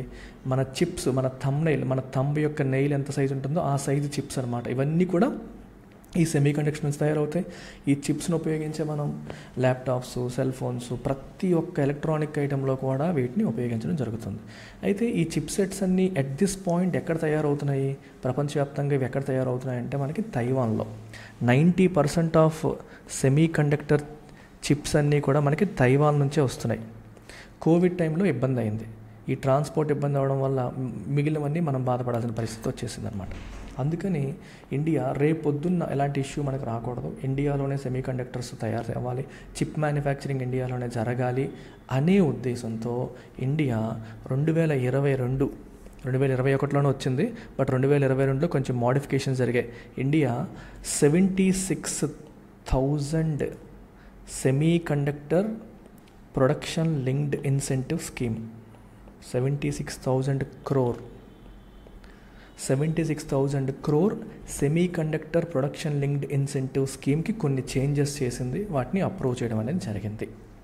ఓకేనా? ఇక్కడ పాయింట్ ఏంటంటే India significant amount of money incentive రూపంలో అలొకేట్ చేస్తుంది. అలొకేట్ చేసి తద్వారా భారతదేశంలో చిప్ మ్యానుఫ్యాక్చరింగ్ పెంచడానికి ప్రయత్నం చేస్తుంది. సో దీని ద్వారా ప్రభుత్వం ఏం చేస్తుందంటే ఇండియాలో ఎవరైనా సరే fab semiconductor fab plants fab అంటే ఏంటి? Manufacturing plants. ఎవరైనా ఇండియాలో ఇన్వె పెడితే ఫిఫ్టీ పర్సెంట్ సపోర్ట్ గవర్నమెంట్ నుంచి వస్తుంది. గవర్నమెంట్ నుంచి ఫిఫ్టీ పర్సెంట్ సపోర్ట్ అనేది వస్తుంది. ఇండియాలో మీరు మ్యానుఫ్యాక్చరింగ్ ఫెసిలిటీస్ పెడితే అని చెప్పడం జరుగుతుందన్నమాట. అంటే ఇంతకుముందు ఎంత వస్తుంది అనేది సైజ్ ఆఫ్ ది వాటి కాల్ నోడ్ బట్టి ఉంటుంది. నోడ్ సైజ్ బట్టి ఉండేది. ఇప్పుడు ఇర్రెస్పెక్టివ్ ఆఫ్ ద సైజ్ అంటే ఏ నోడ్ అయినా సరే ఏ నోడ్ అయినా సరే ఎంత సైజు నోడ్ సరే నానోమీటర్స్లో కొలుస్తారు. ఎంత సైజు నోడ్ సరే fifty percent physical support government నుంచి వస్తుంది అని క్లియర్గా చెప్పడం జరిగింది. ఇదంతా ఎందుకు? టు అట్రాక్ట్ సో అర్థమైందమ్మా? ఇది స్టోరీ ఆఫ్ దిస్ ఆర్టికల్ ఇది బ్యాక్గ్రౌండ్ మీకు సెమీ కండక్టర్ అంటే ఏంటి? సెమీ కండక్టర్ ఫ్యాబ్రికేషన్ అంటే ఏంటి? ఇండియాలో పిఎల్ఐ ప్రొడక్షన్ లింక్డ్ ఇన్సెంటివ్స్ అంటే మీరు ప్రొడక్షన్ చేస్తే దాని ప్రకారం ఇన్సెంటివ్స్ వస్తాయి. సో ఎడిషనల్ ప్రొడక్షన్ ఇప్పుడు కొత్త మ్యానుఫ్యాక్చరింగ్ ప్లాంట్ను సెటప్ చేసామనుకో ఫిఫ్టీ పర్సెంట్ గవర్నమెంట్ ఇస్తుంది. That's what they are saying అయితే ఇదంతా గవర్నమెంట్ చేస్తుంది కదా అనుకున్నంత సక్సెస్ సాధించిందా అంటే సాధించలేదు నీ ఆర్టికల్ చెప్తోంది. సో ఆర్టికల్ చెప్తుందని ఒకసారి సమ్మరైజ్ చేస్తాను. ఇష్యూస్ ఏంటంటే ఒకసారి చూడండి. ఒక్కొక్క పాయింట్ ఆర్టికల్లో చెప్తూ వెళ్ళారు. మొదటిది ఏంటంటే lack of clarity on objectives lack of clarity on objectives అసలు మన ఆబ్జెక్టివ్స్ ఏంటి? మనం ఏం చేయాలనుకుంటున్నాం? మన గోల్స్ ఏంటి? అనేది క్లారిటీ లేకుండా ఉంది. మనకి క్లారిటీ లేకుండా ఉంది. ఒక వెల్ డిఫైన్డ్ పర్పస్ అనేది ఉండాలి. మనం ఏ ఇన్వెస్ట్మెంట్స్ అయితే మనం ఎక్స్పెక్ట్ చేస్తున్నామో అంటే ప్రభుత్వం ఏదైతే ఎక్కువ పెట్టుబడులు పెడుతుందో ఏ పర్పస్తో చేస్తోంది? సరైన క్లారిటీ లేకుండా వెళ్తున్నట్టుగా అనిపిస్తోంది అనేది మొదటి పాయింట్ రెండో పాయింట్ ఏంటి అంటే మనకి లిమిటెడ్ ఎంప్లాయ్మెంట్ లిమిటెడ్ ఎంప్లాయ్మెంట్. జనరల్గా ఈ పిఎల్ఐస్లు ఇవన్నీ తీసుకొచ్చి డొమెస్టిక్ మ్యానుఫ్యాక్చరింగ్ పెంచడానికి ప్రయత్నం చేయడం దేనికోసం? ఎంప్లాయ్మెంట్ జనరేట్ చేయడం కూడా. కాకపోతే వీటిలో ఏమవుతుందంటే అడ్వాన్స్డ్ ఆటోమేటెడ్ సిస్టమ్స్ వాడుతూ ఉంటారు ఈ మ్యానుఫ్యాక్చరింగ్లో. సో మనుషుల అవసరం ఎక్కువగా ఉండదు. అంటే నీకు వీటి ద్వారా జనరేట్ అయ్యే సేల్స్కి వీటి ద్వారా క్రియేట్ అయ్యే ఎంప్లాయ్మెంట్కి సింక్ ఉండదు. చాలా ఎక్కువ వాల్యూ ఆఫ్ సేల్స్ వస్తాయి. కానీ దానికి తగ్గట్టుగా ఎంప్లాయ్మెంట్ జనరేట్ అవుతుందంటే ఎంప్లాయ్మెంట్ జనరేట్ అవ్వదు. ఎంప్లాయ్మెంట్ అనుకున్నంతగా జనరేట్ అవ్వదు. సో ఎంప్లాయ్మెంట్ ఈ సెక్టార్లో సిగ్నిఫికెంట్గా బూస్ట్ అవ్వడం అనేది పాసిబుల్ కాదండి. నువ్వు పిఎల్ఐ ద్వారా ఎంప్లాయ్మెంట్ జనరేట్ చేయడం అనేది మీరు గోల్ అనుకుంటే ఆ గోల్ దీని ద్వారా అచీవ్ అవ్వదు. ఆ గోల్ దీని ద్వారా అచీవ్ అవ్వదు అని క్లియర్గా చెప్పడం జరుగుతుంది. మూడోది global supply chain considerations global supply chain considerations అంటే అర్థం ఏమిటి? ఇది ఎక్కడ రాశారంటే గవర్నమెంట్ ఏం ఎక్స్పెక్ట్ చేస్తుందంటే మన ఇది ఇండియా కదా ప్రపంచం నుంచి ప్రపంచంలో అన్ని దేశాల నుంచి భారతదేశానికి ఈ గ్లోబల్ మ్యానుఫ్యాక్చరర్స్ వచ్చేయాలి ఇక్కడ ఇన్వెస్ట్ చేయాలని గవర్నమెంట్ కోరుకుంటుంది. కానీ వాళ్ళు వస్తారా రాకపోవచ్చు. ఎందుకు అంటే వాళ్ళకి బయట దేశాల్లో చేసుకోవడం వల్ల ఒక సాలిడ్ డిస్ట్రిబ్యూటెడ్ సప్లై చైన్ ఉంది. డిస్ట్రిబ్యూటెడ్ సప్లై చైన్ అర్థం ఏంటి? ప్రపంచంలో ఒక్కొక్కటి ఒక్కొక్క దగ్గర. డిస్ట్రిబ్యూటెడ్ సప్లై చైన్ ఉంది. దాన్ని వదిలేసి కంప్లీట్గా ఇండియాలోనే వచ్చి ఇండియాలోనే మ్యానుఫ్యాక్చరింగ్ చేస్తారంటే డౌట్. డౌట్. ఎందుకంటే ప్లస్ ఇంటర్నేషనల్గా వాళ్ళకి ఇంకా చీప్ ఫెసిలిటీస్ అందుబాటులో ఉన్నాయి. ఆ ఫెసిలిటీస్ అన్నిటిని వదిలేసి ఇండియాకు వచ్చేసి ఇండియా పిఎల్ఐ ఇస్తుంది కదా అని వచ్చేసే పరిస్థితులు ప్రస్తుతానికి లేవు. ప్రస్తుతానికి లేవు. ఇంకా ఆర్టికల్ ఏం చెప్తుందంటే supply chain semiconductor design. Semiconductor design గురించి మాట్లాడుతోంది.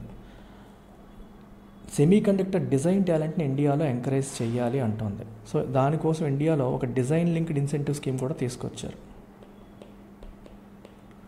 Design linked incentive scheme. ఇండియాలో డిజైన్ లింక్డ్ ఇన్సెంటివ్ స్కీమ్ అనేది తీసుకురావడం జరిగింది. దీని ద్వారా సెమీ కండక్టర్ డిజైన్ చేసే టాలెంట్ని ఇండియాలో ఇంక్రీజ్ ఇంక్రీజ్ చేయాలనేది ప్రధానమైన ఉద్దేశం. ఓకేనా? సో ఎంతసేపు మనం అసెంబ్లీ పైన అంటే ఇప్పుడు for example semiconductor design అనేది వేరే కంట్రీస్లో జరుగుతుంది. పార్ట్స్ అన్నీ వేరే కంట్రీస్లో వస్తున్నాయి. ఓన్లీ అసెంబ్లీ మాత్రమే అంటే వాటన్నిటిని కలపడం మాత్రమే ఇండియాలో జరుగుతుంది. అసెంబ్లీ అంటే అన్నిటిని కలపడం. చిన్న చిన్న పార్ట్స్ వస్తే వాటన్నిటిని కలపడం మాత్రం ఇండియాలో జరుగుతుంది. డిజైన్ ఇండియాలో జరగట్లేదు. డిజైన్ ఇండియాలో జరిగేలాగా యాక్షన్ తీసుకోవాలి. డిజైన్ టాలెంట్ ఇండియాలో బిల్డ్ చేయాలి. ఎక్కువ మందిని దానిలో ట్రైన్ చేయాలి. అలాంటివి ఎంకరేజ్ చేసేలాగా ఇన్సెంటివ్ స్కీమ్స్ తీసుకురావాలి అనేది another important point okay focus అంతా కూడా అసెంబ్లీ పైన లార్జ్ మ్యానుఫ్యాక్చరింగ్ పైన వెళ్ళిపోతుంది. అలా కాదు ఇనీషియల్ స్టేజెస్ ఎంటైర్ ఎకో సిస్టంలో ఇనీషియల్ స్టేజెస్ పైన ఫోకస్ చేయాలనేది another point then you need to have clarity on outcomes అసలు గవర్నమెంట్ ఏం సాధించాలనుకుంటుంది? What are the outcomes that it wants to achieve you need to have clarity అసలు government ఏం కోరుకుంటుంది? Government కోరుకు కోరుకుంటుంది cheap electronics తయారు చేయడమా? అంటే ఎలక్ట్రానిక్స్ చీపర్ చేయడం అనేది గవర్నమెంట్ యొక్క ఆబ్జెక్టివా లేదా గ్లోబల్ ఎలక్ట్రానిక్ మ్యానుఫ్యాక్చరింగ్ హబ్గా ఇండియాని మార్చడం ఇండియా గవర్నమెంట్ యొక్క ఆబ్జెక్టివా? లేదా సైబర్ సావరింటీని ప్రొటెక్ట్ చేసుకోవడం? సైబర్ సావరింటీ సైబర్ సావరింటీ అంటే అర్థం ఏంటి? అంటే ఈ విషయాల్లో వేరే వాళ్ళ మీద డిపెండ్ అయ్యే పరిస్థితి లేకుండా.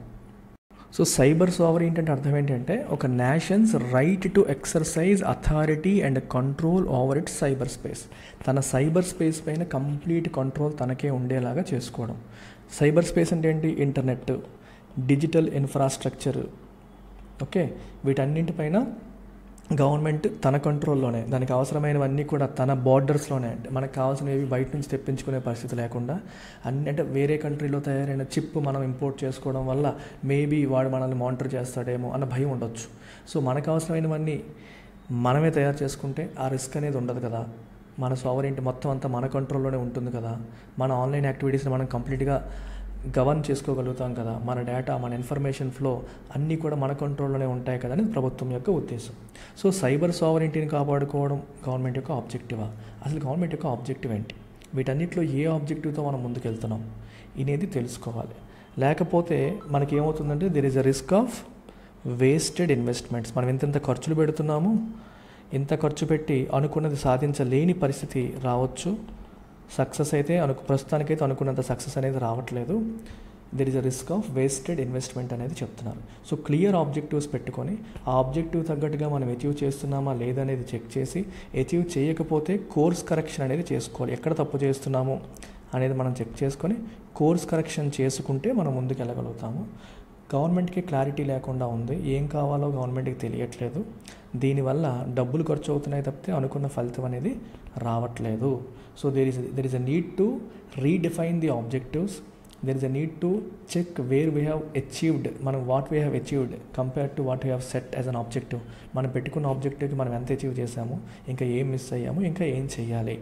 అనేది ఒకసారి విశ్లేషణ చేసుకొని కోర్స్ కరెక్షన్ చేసుకోవాల్సిన అవసరం ఎంతైనా ఉంది అని ఈ ఆర్టికల్ యొక్క ఓవరాల్ సారాంశం అన్నమాట. అర్థమైందా? ఇది స్టోరీ సో ఫ్రంట్ పేజ్లో వచ్చిన ఆర్టికల్ ఇది. Ethics panel recommends disqualification of Moitra so Moitra ఎవరు? మనకి తృణమూల్ కాంగ్రెస్ పార్టీకి చెందిన ఎంపీ సో తనని డిస్క్వాలిఫై చేయమని ఎథిక్స్ ప్యానల్ రికమెండ్ చేసింది. సో ఎందుకు అంటే క్యాష్ ఫర్ క్వైరీ అనేది తనపైన వచ్చిన ఆరోపణ. అంటే ఒక బిజినెస్ అసోసియేషన్ ఒక బిజినెస్ ఎంటర్ప్రైజ్ ఈవిడికి డబ్బులు ఇచ్చింది. మేము మేము చెప్పిన క్వశ్చన్ మీరు అక్కడ అడగండి. అని చెప్పి తనని ఇన్ఫ్లుయెన్స్ చేసి డబ్బులు ఇచ్చింది. సో తను బ్రైబ్ తీసుకొని తను వాళ్ళ వాళ్ళు అడగమన్న క్వశ్చన్ పార్లమెంట్లో అడిగింది అనేది తన పైన అభియోగం.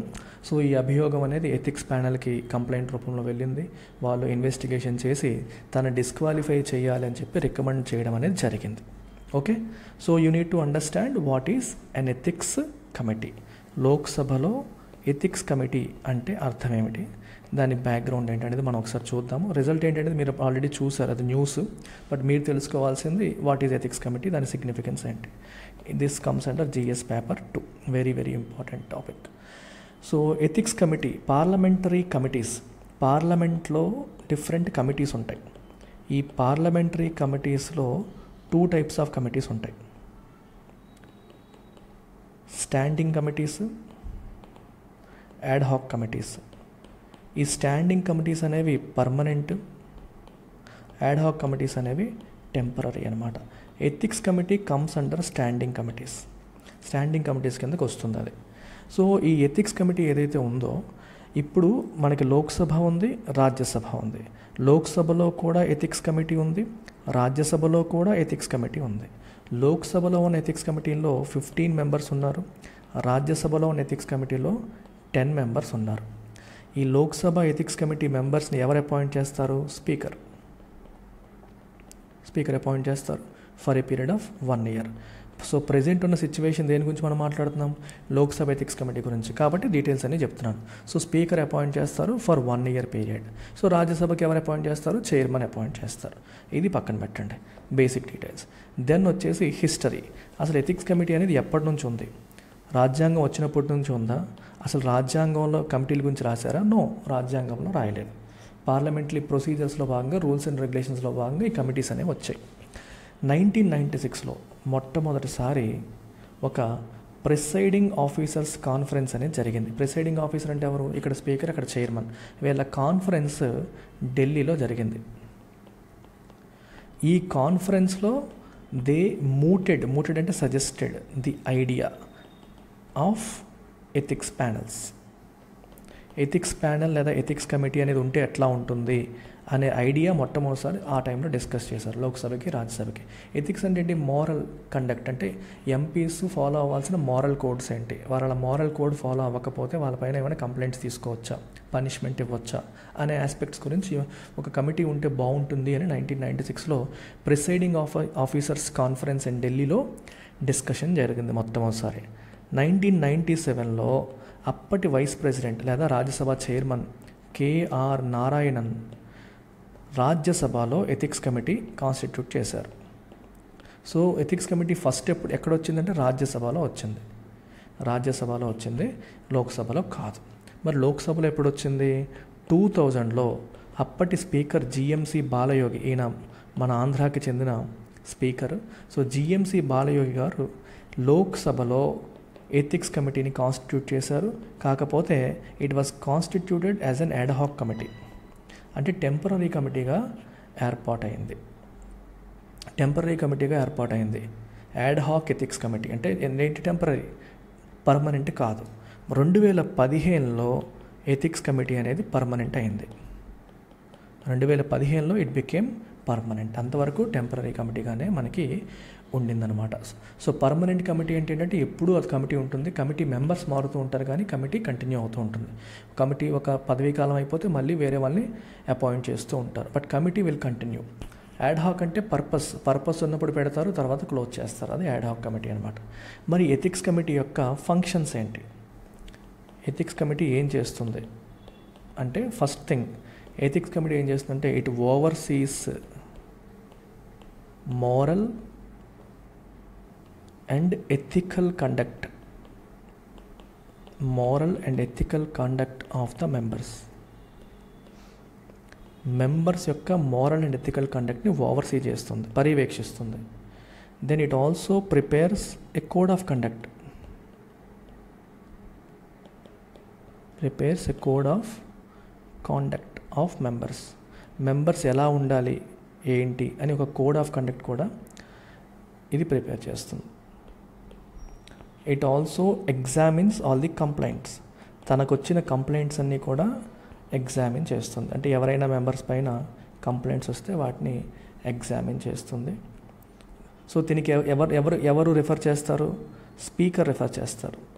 ఈ speaker refers complaints to ethics committee అనమాట ఎథిక్స్ కమిటీ రిఫర్ చేస్తే అన్ఎథికల్ కండక్టా కాదని చెక్ చేసి ఒకవేళ వాళ్ళకి కరెక్ట్ అనిపిస్తే ఇట్ గివ్స్ ఇట్స్ రికమెండేషన్స్ తన రికమెండేషన్ చెప్తుంది.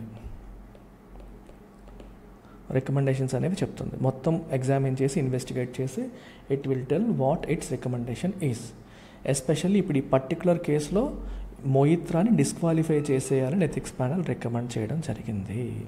This is the story of ethics panel ఇది మనకి కావాల్సింది. మోయిత్రా ఎవరు? ఇదంతా మనకు అవసరం లేదు. No one will ask you about persons but we need to know about the background అంతే.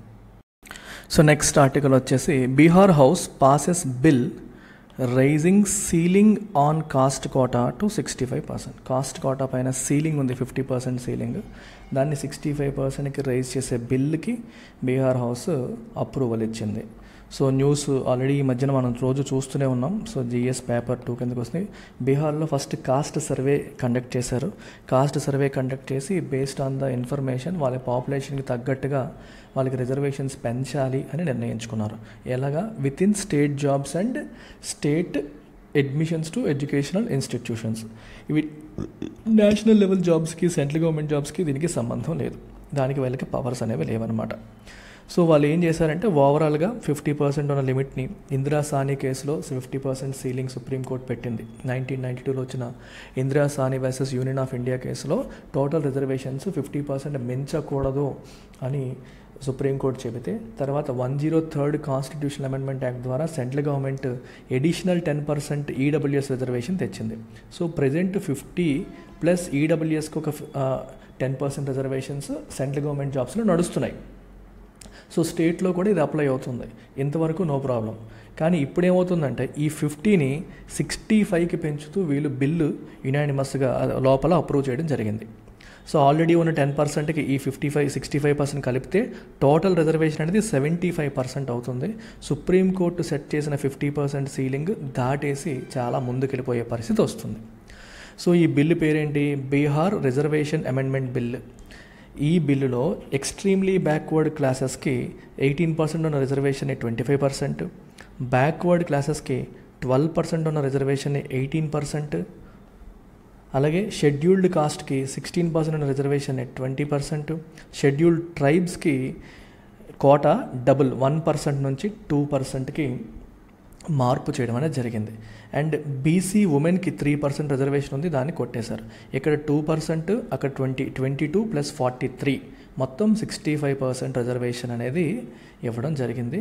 సో ఈ బిల్ వల్ల educational institution state government education ఇన్స్టిట్యూషన్స్లోను government జాబ్స్లోను వాళ్ళకి రిజర్వేషన్ అనేది ఇంక్రీజ్ అవుతుంది. ఇది దేన్ని బేస్ చేసుకొని తీసుకొచ్చారు? రీసెంట్గా జరిగిన కాస్ట్ సర్వే డేటాను బేస్ చేసుకొని దీన్ని డ్రాఫ్ట్ చేయడం అనేది జరిగింది. ఇది యునానిమస్గా అప్రూవ్ అయింది స్టేట్ అసెంబ్లీలో. సో నెక్స్ట్ స్టెప్ ఏంటి? It goes to governor governor దీనికి ఒకవేళ ఎస్సెంట్ ఇస్తే గవర్నర్ దీనికి అప్రూవల్ ఇస్తే that becomes a law or act. అయితే ఇక్కడ కన్ఫ్యూజన్ వస్తుంది. ఏంటి? సార్ మరి సుప్రీంకోర్టు తీర్పు ఇచ్చింది కదా. Yes if someone has to challenge this ఇప్పుడు ఎవరైనా సరే ఇది చెల్లదు అని ఓపెన్ కేటగిరీ చెందిన వాళ్ళు సుప్రీంకోర్టులో ఛాలెంజ్ చేశారు అనుకోండి the supreme court might strike down. దీన్ని కొట్టేయచ్చు. లేదా స్టేట్ గవర్నమెంట్ వచ్చేసి మేము ఈ రిజర్వేషన్ పెంచడం అనేది ఆర్బిట్రరీగా చేయలేదు. మేము ఒక డేటాని బేస్ చేసుకొని చేసాం. సుప్రీంకోర్టు ఏమంటుందంటే మీరు ఏ యాక్టివిటీ తీసుకున్నా it has to be based on a scientific exercise information చూపించాలి డేటా చూపించాలి అలా చేసే చేయాలని చెప్తాం. సో ఇప్పుడు మేము కాస్ట్ సర్వే సమగ్ర కాస్ట్ సర్వే చేశాము. మీరు ఒకసారి కావాలంటే చెక్ చేయొచ్చు.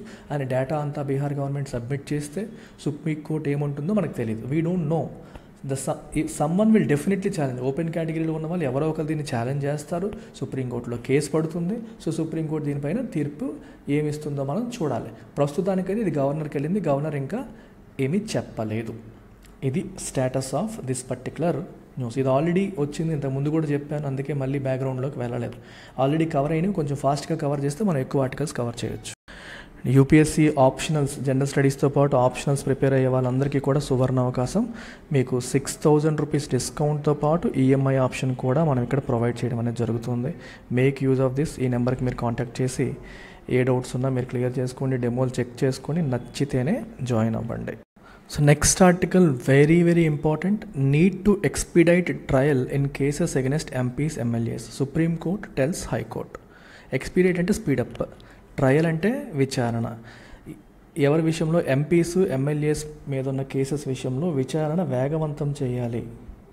విచారణ వేగవంతం చేయాలని సుప్రీంకోర్టు హైకోర్ట్స్కి చెప్పిందనమాట ఏంటి కథ? ఇది మనకి సిలబస్ ప్రకారం జిఎస్ టూ గవర్నెన్స్ మరియు పాలిటీ కిందకి వస్తుంది. సో ఈ ఆర్టికల్ మీరు ఒకసారి గమనిస్తే చాలా ఇంపార్టెంట్ ఆర్టికల్ ఎందుకంటే మన దేశంలో క్రిమినలైజేషన్ ఆఫ్ పాలిటిక్స్ పాలిటిక్స్లోకి క్రిమినల్స్ ఎక్కువైపోయారు. మెజారిటీ ఆఫ్ ద లెజిస్లేటర్స్ పైన క్రిమినల్ కేసెస్ దేశంలో ఉన్నాయి. సో ఈ ప్రాబ్లమ్ని మనం సాల్వ్ చేయకపోతే ఎవరైతే క్రిమినల్స్ వాళ్ళే లెజిస్లేటర్స్ అవుతారు వాళ్ళే లా మేకర్స్ అవుతారు. అంటే law breakers will become law makers కదా? అందుకని వీళ్ళపైన ఉన్న కేసులన్నీ కూడా త్వరితగతిన విచారణ జరిపి వాళ్ళపైన శిక్ష పడ్డమో లేకపోతే వాళ్ళని ఎక్విట్ చేయడమో జరగాలి. ఈరోజు ఎన్నో సంవత్సరాలుగా స్టేలుతో నడిపేస్తున్నారు. బెయిల్ మీద ఉన్న వాళ్ళు సీఎంలు అయిపోతున్నారు. లెజిస్లేటర్స్ అయిపోతున్నారు ఎమ్మెల్యేలు అయిపోతున్నారు ఎంపీలు అయిపోతున్నారు. సో విచారణ అనేది త్వరితగతిన పూర్తయితే అతను నిర్దోషి అయితే రిలీజ్ చేసేయండి హ్యాపీగా ఏదన్నా చేసుకోవచ్చు. దోషి అయితే జైల్లో పెట్టండి. ఈ రెండు కాకుండా మధ్యలో త్రిశంకు స్వర్గంలో జీవితం జీవితాలు గడిపేసే రోజులు కనిపిస్తున్నాయి మనకి. ఇది పోవాలి అనేది సుప్రీంకోర్టు ఉద్దేశం. సో సుప్రీంకోర్టు ఏం చేస్తుందో చూడండి ఒకసారి. Supreme court on Thursday gave chief justices of high courts high court chief జస్టిస్కి responsibility ఇచ్చింది. దేనికి? To form a special bench. ప్రతి ఒక్క హైకోర్టు పరిధిలో ఒక స్పెషల్ బెంచ్ ఫామ్ చేయమని చెప్పింది. And maintain to maintain a constant vigil over the criminal trials of MPs and MLAs. MPs MLAs పైన జరుగుతున్న క్రిమినల్ ట్రయల్స్ పైన ఒక ఒక కన్నేసి ఉంచడానికి. అవి తొందరగా అవ్వాలి. నార్మల్ కేసుల్లాగా వాటిని చూడకూడదు. అవి త్వరితగతిన అయ్యేలా కన్నేసి ఉంచడానికి స్పెషల్ బెంచెస్ అనేవి ఫామ్ చేయమని చెప్తోంది. అండ్ వీళ్ళలో కొంతమంది some of them are accused accused of crimes punishable with death or life imprisonment death life imprisonment లాంటి శిక్షలకి అర్హమైన నేరాలు చేశారు వాళ్ళు. చాలా పెద్ద పెద్ద నేరాలు కదా. మరి అలాంటి నేరాలు చేసిన వాళ్ళకి పనిష్మెంట్ జరగాలంటే మనం ఏం చేయాలి? తొందరగా శిక్ష పడేలా చేయాలి. సో తొందరగా విచారణ అనేది పూర్తి అవ్వాలి so ensure they reach the finish line తొందరగా విచారణ పూర్తి చేయాలి అంటున్నారు. సో సిజిఐ డివై చంద్రచూడ్ ఆధ్వర్యంలో ఉన్న ఈ ముగ్గురు జడ్జిల ధర్మాసనం ఈ లోక్సభ ఎలక్షన్స్ రాబోతున్నాయి కదా మరి. ఈ టైంలో ఏం చెప్పిందంటే స్టేట్ హైకోర్ట్స్ అన్నిటికీ మీరు యాక్షన్లోకి దిగండి. ఈ క్రిమినల్స్ అందరూ మళ్ళీ లా మేకర్స్ అయ్యేలాగా అవ్వకూడదు. ఎలక్షన్స్ వచ్చే ముందు తేలిపోయింది అనుకోండి వీళ్ళు నేరస్తులు అనుకోండి జైలుకి పోతారు. వీళ్ళు మళ్ళీ ఎంపీలుగా కంటెస్ట్ చేయరు. ఈ కేసులు తేలకపోతే మళ్ళీ వాళ్ళు ఎంపీలుగా కంటెస్ట్ చేస్తారు. ఈ లా బ్రేకర్స్ అందరూ లా మేకర్స్ అయ్యే అవకాశం ఉంటుంది. రెండు వేల ఇరవై నాలుగు ఎలక్షన్స్ దగ్గరలో ఉన్నాయి. So let them not be law makers. If they are law breakers they belong to jail అని సుప్రీంకోర్టు వీళ్ళకి చెప్పడం జరిగింది.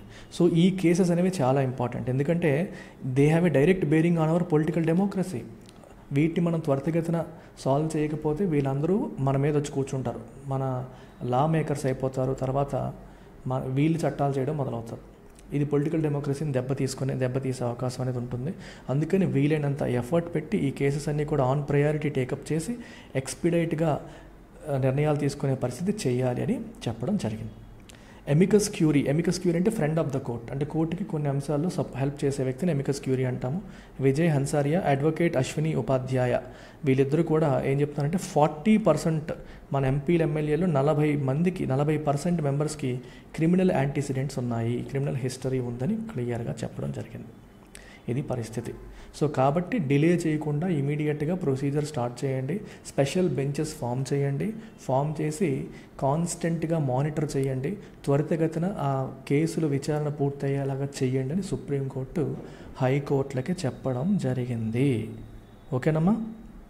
So this is all about this particular article. అంతే. అంతకంటే మనకి వేరే ఏమీ ఇంపార్టెంట్ న్యూస్ ఇందులో లేదు. ఏపీపీఎస్సీ గ్రూప్ టూ మీ అందరికీ తెలుసు తొమ్మిది వందలకి పైగా పోస్టులు అతి త్వరలో రాబోతున్నాయి. నైన్ హండ్రెడ్ ప్లస్ పోస్టులు గవర్నమెంట్ రిలీజ్ చేయబోతోంది. సువర్ణ అవకాశం నిరుద్యోగులందరికీ సో ఈ ఆపర్చునిటీని వాడుకొని మన కోర్స్ మీరు టేకప్ చేస్తే మీకు టెస్ట్ సిరీస్ కూడా ఫ్రీగా వస్తుంది. I recommend going for ten thousand plan.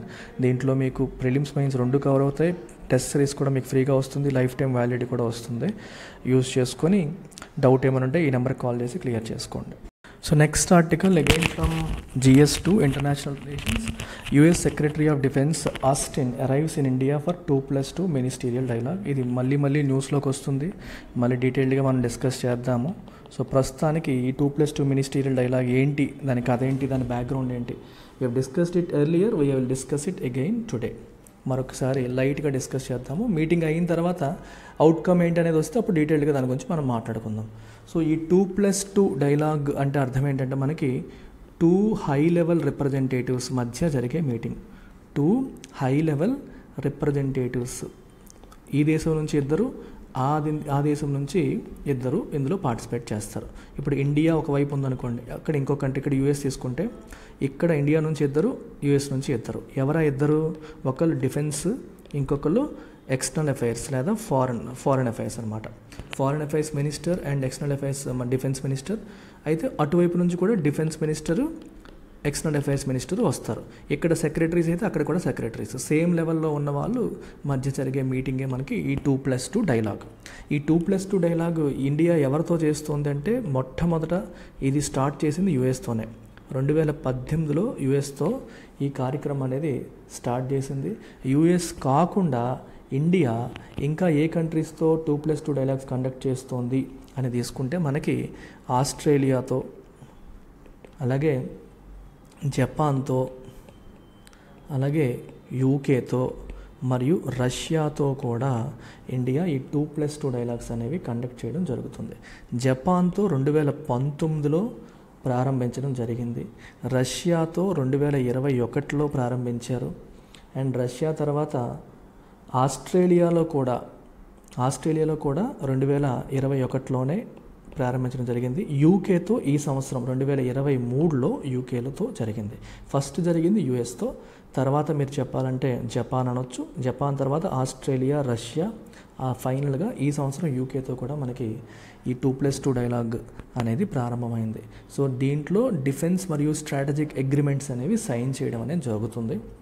India తీసుకుంటే యుఎస్తో చాలా ఫౌండేషనల్ అగ్రిమెంట్స్ ఇంతకుముందు సైన్ చేసింది రెండు వేల పద్దెనిమిదిలో కామ్కోసా తర్వాత రెండు వేల ఇరవైలో బెకా ఒక త్రీ ఫౌండేషనల్ అగ్రిమెంట్స్ యుఎస్తో మూడు అగ్రిమెంట్స్ సైన్ చేయడం జరిగింది. ఒకటి లెమోవా ఈ లెమోవా ఈ టూ ప్లస్ టూ కంటే ముందే రెండు వేల పదహారులో సైన్ చేశారు. ఆ తర్వాత కామ్కోసా కామ్కాసా ఇది రెండు వేల పద్దెనిమిదిలో అయింది. ఆ తర్వాత బెక్కా బెక్కా రెండు వేల ఇరవైలో అయింది. ఈ లెమోవా కమ్కాసా బెకా అంటే ఏంటి? సో లె బెకా అంటే మీనింగ్ ఏంటి? Basic exchange and cooperation agreement. దీనివల్ల ఏమవుతుందంటే రెండు దేశాల మధ్య ఇప్పుడు ఇండియా ఇక్కడ ఉంది యుఎస్ ఇక్కడ ఉంది ఈ రెండు దేశాలు కూడా జియో స్పేషియల్ ఇన్ఫర్మేషన్ అంటే మ్యాప్స్కి సంబంధించిన ఇన్ఫర్మేషన్ కావచ్చు శాటిలైట్స్కి సంబంధించిన ఇన్ఫర్మేషన్ కావచ్చు ఎక్స్చేంజ్ చేసుకుంటారు. అందుకే basic exchange and cooperation agreement అనే పేరుతో దాన్ని పిలుస్తాం. Basic exchange and cooperation agreement in this they will exchange maps information related to maps and satellites for defence purposes defence purpose కోసం అవసరమైన ఇన్ఫర్మేషన్ ఎక్స్చేంజ్ చేసుకోవడం కోసం చేసుకున్న agreement BECA next article next తీసుకుంటే కామ్కాసా కామ్కాసా ఫుల్ ఫామ్ ఏంటి మనకి? COMCASA full form ఏంటి అంటే communications compatibility and security agreement communications compatibility and security agreement ఇది కూడా మనకి యూఎస్తో మనం సైన్ చేసుకున్న అగ్రిమెంట్ ఈ అగ్రిమెంట్ ద్వారా మనం ఏం చేయొచ్చు అంటే యునైటెడ్ స్టేట్స్ వాళ్ళ యుఎస్ఏ వాళ్ళ communication equipment communication equipment and systems encrypted communication equipment and systems ఏవైతే ఉన్నాయో దాన్ని ఇండియా యూజ్ చేసుకోవచ్చు. మీకు అర్థమైందా? ఈ communication compatible and security agreement వాళ్ళ సిస్ట కమ్యూనికేషన్ సిస్టమ్స్ని ఇండియా యూజ్ చేసుకునే అవకాశం దీని ద్వారా మనకు కలుగుతుంది. అండ్ తర్వాత మనకి ఫస్ట్ సైన్ చేసింది లెమోవా లెమోవా అంటే logistics exchange memorandum of agreement logistics exchange memorandum of agreement దీంట్లో భాగంగా ఏమవుతుందంటే వాళ్ళ మిలిటరీ ఇప్పుడు ఇండియా యుఎస్ తీసుకుంటే ఒకళ్ళ మిలిటరీ బేస్ని ఇంకొకరు వాడుకోవచ్చు. అంటే రీఫ్యూలింగ్ పర్పస్ కావచ్చు. లేదా రిప్లెనిష్మెంట్ పర్పస్ కావచ్చు. మనకి కొన్ని గన్స్ కావాలి. We can take it from them తర్వాత మళ్ళీ తర్వాత ఇచ్చేస్తాం. రిప్లెమినిష్ రిప్లెనిష్మెంట్ అంటే మనకు అవసరమైన రిసోర్సెస్ ఏమైనా మన దగ్గర లేకపోతే వాళ్ళ మిలిటరీ బేస్ నుండి మనం తీసుకోవచ్చు. అలాగే వాళ్ళకి అవసరమైతే మన మిలిటరీ బేస్ నుండి వాళ్ళకి ఇవ్వచ్చు. అంటే వాళ్ళ మిలిటరీ బేస్ని మనము మన మిలిటరీ బేస్ని వాళ్ళు ఉపయోగించుకునే అవకాశం ఇవి కల్పిస్తున్నాయి. So LEMOA COMCASA and BECA ఈ మూడు ఇండియా యుఎస్కి మధ్యలో జరిగిన త్రీ ఫౌండేషనల్ అగ్రిమెంట్స్ ఇవన్నీ డిఫెన్స్కి సంబంధించినవి కాబట్టి మీకు చెప్పడం జరుగుతుంది. ఏంటి అంటే ఈ టూ ప్లస్ టూ డైలాగ్స్లో భాగంగా ఎట్లాంటి అగ్రిమెంట్ సైన్ చేసుకుంటారు? రెండు దేశాల మధ్య డిఫెన్స్ కోఆపరేషన్ మరియు ఎక్స్టర్నల్ అఫైర్స్ ఫారిన్ అఫైర్స్లో ఎట్లా స్ట్రాటజిక్ పార్ట్నర్షిప్స్ ఎట్లా బిల్డ్ చేసుకోవాలని డిస్కస్ చేస్తారనమాట సో ఈ సంవత్సరం డిస్కషన్ అనేది ఇంక జరగలేదు. వచ్చారు ఆయన అంతే. డిస్కషన్ అయ్యాక ఏం డిస్కస్ చేశారో? అవుట్కమ్ ఏంటి అనేది మనం అప్పుడు డీటెయిల్గా మాట్లాడదాం. అందాక మీకు ఇచ్చిన బ్యాక్గ్రౌండ్ ఇది. ఓకేనమ్మా with this we're done with today's articles so this is today's MCQ of the day make use of this MCQ to test your knowledge ఇవాళ క్లాస్లో చెప్పినవి టెస్ట్ చేసుకోవడానికి ఈ ఎంసిక్యూని యూజ్ చేసుకోండి. యూజ్ చేసుకొని మీ నాలెడ్జ్ టెస్ట్ చేసి లెట్ మీ నో ఓకేనమ్మా? So make use of this so current affairs preparation మీరు కంప్లీట్ అవ్వాలి అంటే మీరు చేయాల్సిందల్లా మన హిందూ ఎనాలిసిస్ ఇప్పుడు నేను చెప్తున్న హిందూ ఎనాలిసిస్కి మన లైవ్ కోర్స్ మీరు యాడ్ చేసుకోవాలి. ఎప్పుడైతే మీరు లైవ్ కోర్స్ హిందూ ఎనాలిసిస్కి యాడ్ చేస్తారో మీ కరెంట్ అఫైర్స్ ప్రిపరేషన్ కంప్లీట్ అవుతుంది. లైవ్ కోర్స్లో మీకు డౌన్ టు ఎర్త్కి సంబంధించిన డౌన్ టు ఎర్త్లో వచ్చేవి పిఐబిలో వచ్చేవి. ఇట్లాంటి ఆర్టికల్స్ అన్నీ కూడా కవర్ చేయడం జరుగుతుంది. అలాగే ఇండియన్ ఎక్స్ప్రెస్లో వచ్చే ఆర్టికల్స్ అన్నీ కూడా ఈ కరెంట్ అఫైర్స్ కోర్స్లో కవర్ అవుతాయి. తద్వారా మీ ప్రిపరేషన్ కంప్లీట్ అవుతుంది. So daily live class weekly monthly PDFs టెస్ట్లు ప్రీడింగ్స్ రివిజన్ సిరీస్ ఇదంతా మీకు ఎడిషనల్ అడ్వాంటేజ్ అనమాట so ten thousand rupees course మీకు ఫిఫ్టీ పర్సెంట్ డిస్కౌంట్తో కేవలం ఫైవ్ థౌజండ్కే లభిస్తుంది. ఫిఫ్టీన్త్ నవంబర్ లోపు ఎవరైతే జాయిన్ అవుతారో వాళ్ళకి మాత్రమే ఈ ఆపర్చునిటీ ఉంది. ఫర్దర్ ఇన్ఫర్మేషన్ కోసం ఈ నెంబర్కి మీరు కాంటాక్ట్ చేయొచ్చు.